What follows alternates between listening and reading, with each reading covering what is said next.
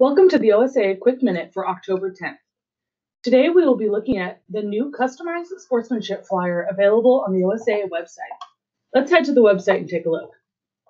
From our main page, you will navigate to the Support and Equity header, and then to the Sportsmanship tab.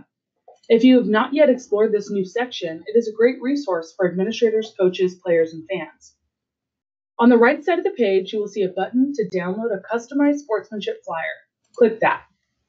From here, you can choose which sport, which will adjust the playing surface and turf for the officials, and then you will select your school. The system will load your dominant school color and the mascot, then select download.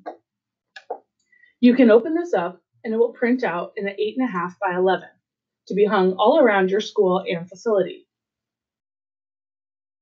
As always, you can find this and all other OSAA Quick Minutes on the OSAA YouTube channel. Thank you for listening.